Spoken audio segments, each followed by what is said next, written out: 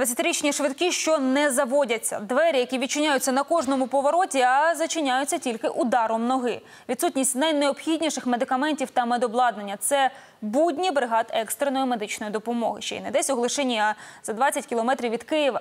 Наш Артем Сорокін пробув із фельдшерами кілька днів і сьогодні продовжить показувати проблеми, яких медики раніше не афішували, але нині в умовах ковіду вже ладні про них кричати. Дивімось. Якщо хворий набере номер 03, що наліплений на цьому уазі, не додзвониться нікуди. Може, воно і на краще, кажуть тутешні фельдшери, що вас не ушпиталюватиме така швидка. Тут ти поки довезеш до приймального відділення, ти помімо тої травми можеш ще одну травму нанести. Підстанція екстреної медичної допомоги в селищі Бородянка. До столиці лише 40 кілометрів. Зовсім поряд траса. За правилами на виклик ДТП ця карета має прибути щонайдовше за 15 хвилин. Травми хребта це саме перші із е, травм, які можуть бути. Тобто має бути щит. Він тут відсутній. Нам стидно тільки, що ми їдемо до е, цих потерпілих, і ми наперед знаємо, що повністю мірі нормальну допомогу ми не можемо надати. Тут немає ані дефібрилятора, ані кисневого балона, каже фельдшер. Це критично за часів щоденних викликів до ковідних пацієнтів. Кисню тут немає. Тобто ти на свій страх і ризик е, садиш чи ложиш цього хворого і якимось чином госпіталізуєш до лікарні. Перераховувати повністю все, чого нема в цій кареті, дуже довго. Легше назвати, що тут є. От, приміром, є ноші. Один із бригади сідає спереду, тримає за ручку, щоб, не дай Бог, по дорозі не випав пацієнт. Вон бачите, як вона їздить. Ноші їздять по автівці, а ось зробити так, щоб сама карета поїхала, вдається не відразу.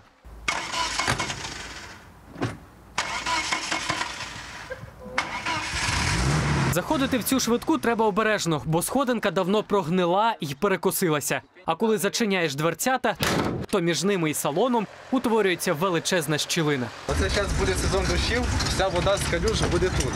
Буде тут хворий, вода буде на хворому. Тобто це вихід отакий. Закривати ногою дірку, щоб ця вода не летіла на пацієнта. Ну так і держимося. 10 хвилин подорожі сільським бездоріжжям, а таке враження, що кілька кіл поспіль на американських гірках. Лежить пацієнт, оце в таких умовах. Держиш двері, щоб не відкрилися. Держиш носілки, щоб не випав пацієнт по дорозі. Поки на лінії їздить цей УАЗ, у гаражі відпочиває ось цей сучасний реанімобіль. Сирену оповело павутиння на лобовому склі, вкритому порохами. Хтось намалював смайлика. Їздимо на цьому неукомплектованому. Стоїть, е, дай Бог, сучасний автомобіль, який укомплектований всім, відповідає категорії Б. Тут є кисень, дефібрилятор, вакуумні шини, вакуумні матраси. І він просто стоїть, так як ми не можемо на ньому виїжджати. В цій автівці поламався двигун, і вже 5 місяців її не ремонтують, хоч як просять тутешні фельдшери. Після розголосу проблеми сюди, на Бородянську підстанцію, приїжджав навіть міністр охорони здоров'я. Степанов приїхав, він побачив цей автомобіль. Йому розказали, що- він не ремонтується. Було сказано так в загальному, що до кінця року хочуть, по-моєму, 28 автомобілів на Київській області, до 22-го поміняти повністю автопарк. Тобто така сказана була вода. Я чітко бачу, в яких умовах вони працюють, і точно беру на себе зобов'язання змінити ці умови. Про що ми неодноразово говорили, що ми хочемо реформувати е, екстрену медичну допомогу до рівня еталонної. Ми вже почали це робити. Все, поки держиться. Це вже сусідній пункт базування швидкої у Немішаєвому і ще один старий УАЗ. Взагалі є три УАЗи на майже 60 тисяч населення і лише один сучасний реанімобіль. Водій дядя Вітя, так він сам представився, каже, зачиняє свою карету з ноги не тому, що він муніципального майна не береже. Просто двері зачиняються тільки так і відчиняються на кожному повороті.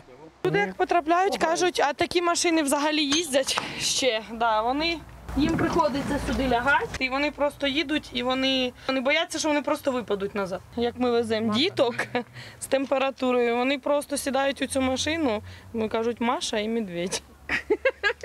Ну, бо в мультику така машина у вовків. Покращення, про які казав міністр, сюди поки не дійшли. Дядя Вітя веде до кімнати відпочинку водіїв швидкої. Проминаємо гараж, далі темний коридор, завалений мотлухом. А ось і самі апартаменти. Вогкість та сморід з гаражу панують у цій крихітній кімнаті. Ось висить грамота. Це дядькові Віті. Адміністрація дякує за багаторічну плідну працю та бажає натхнення на майбутні звершення. Ну, це було колись. Зараз ніхто нас нічим не поздравляє. Артем Сорокін, Максим Костенко. Програма Вікна СТБ.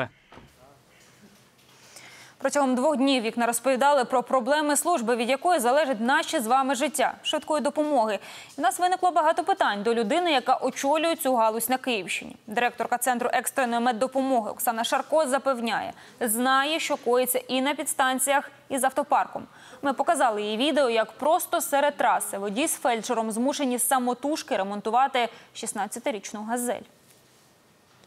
Працюємо автомобіль на дорозі, їздимо на зламках. Я пришла сюда, э, я работаю всего неполных 10 месяцев. То, что не делалось 15 лет, за 10 месяцев невозможно изменить. Мені здається, на відповідь керівника. Я вам сказала, что на сегодня у нас идет закупка автомобилей. На сегодня министр пообещал, будучи в Бородянке, передать нам 28 автомобилей. У меня нет возможности поменять там автомобиль, потому что поменяв у них, нужно у кого-то забрать. Про дефібрилятор бригади Шамраївки, яким технік заборонив користуватися, бо можна вбити людину. Директорка не знала, але пообіцяла з'ясувати, як і відсутність кисневих балонів у салонах.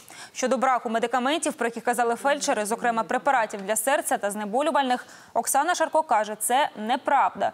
Усіма належними ліками бригади забезпечені в повному обсязі. Те, що спирту і перекису немає, урядниця певнить, так і має бути, бо замість них тепер всюди мають використовувати хлоргексидин. Відповіла директорка і на найболючіше питання фельдшерів з Бородянки. Чому вони їздять на іржавому УАЗі, а сучасний ранньомобіль простоює в гаражі, бо там вже 5 місяців не лагодять двигун. Я через эм, ваш канал обращусь к нашим руководителям, которые пишут э, законы. Нельзя ли упростить процедуру эм, тендерных покупок для спецтранспорта? Догнать этот автомобиль куда-то починить, либо нужно заплатить наличные деньги со своего кармана, либо мы ждем, вот как э, пройдут торги. У нас на прошлой неделе мы уже подписали договор, наконец-то у нас все случилось, поэтому, думаю, в ближайшее время этот автомобиль будет доставлен э, на станцию техобслуживания и починен. Директорка пообіцяла, невдовзі зустрінеться з медиками Бородянка, аби з перших вуст почути про їхні проблеми. Одразу після запису інтерв'ю з посадовицею фельдшер Шамраєвки повідомив, глюкометри, яких не було, завезли, а їхню старезну газель замінили на трохи новішу.